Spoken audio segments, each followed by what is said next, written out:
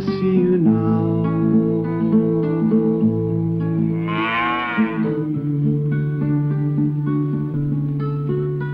So twice a day, on farms all over America, in the morning and in the evening, is milking time.